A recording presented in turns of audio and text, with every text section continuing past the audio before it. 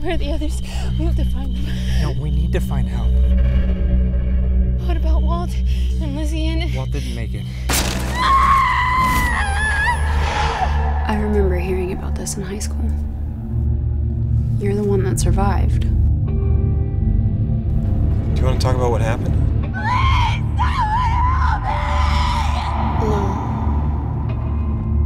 No. Um, everybody, this is Cameron. Uh, we uh, work together.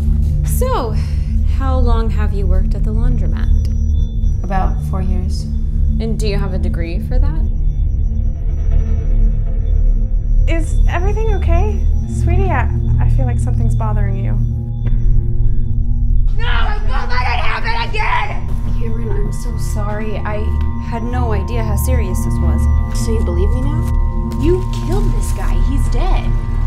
But if he isn't? You know what finally helped me?